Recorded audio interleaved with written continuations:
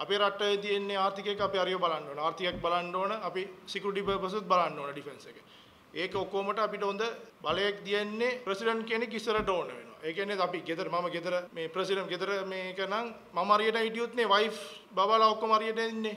ද මම බයිලා කෑවොත් family out නේ. ෆැමිලි වගේම තමයි දේශය. රට වෙනකම් අපි නටන්න බෑ. දැන් මම මේ කියන්නේ මේ එක ට්‍රැක් රේල්වේ ට්‍රැක් එක අපි ඩිරෙක්ට් දැම්මොත් තමයි කෝච්චි ඩිරෙක්ට් යන්නේ. සික්සැක් දැම්මොත් කෝච්චි ඩිරෙක්ට් යන්නේ නැහනේ. ඒ කියන්නේ රට මේ රටෙන් හෙට ඇබ්‍රහාම් වගේම එක්කෙනා එන්න ඕන, බිල් ගේට්ස් වගේම එකක් එන්න ඕන. මම ගිහිල්ලා මාස්ටර්ස් කරනකොට ෆ්‍රාන්ස් වලින් තිබිච්ච ප්‍රොෆෙසර් කෙනෙක් මට ආවා පළවෙනි කචාව. පළවෙනි එක. ඕගොල්ලෝ මේම you are from where where where where කියලා ආගෙන. you are from where Trinco. Eh, Sri Lanka which part eastern province. ඒ මිනිහා මට කියපු එක මොකද දන්නවද? why you are here තුලිස් යුනිවර්සිටි එක. why you are here කියලා ඇහුවා.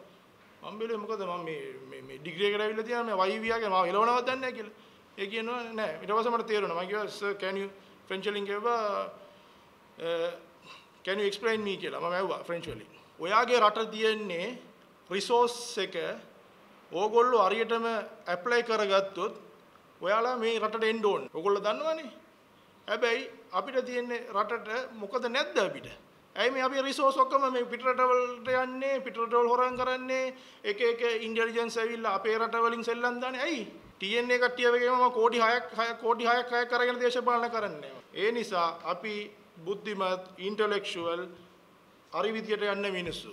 අපිට මේ පක්ෂයක් මේ පක්ෂයක් කියලා වැඩක් නැහැ 100% අපි ફોකස් කරන්නේ මිනිස්සුගේ දේවල්. රයිට් අපේ මිනිස්සු. රයිට් දෙවෙනි එක අපේ ආර්ථිකය අපේ රට. අද ඩොලර් එක කීයද යූරෝ එකද රුපිස් එක කීයද? ආ? ඒක නගතන්න ඕන. අපිට මොකද නැද්ද අපිට? මූද නැද්ද? මේ කුඹුරු නැද්ද?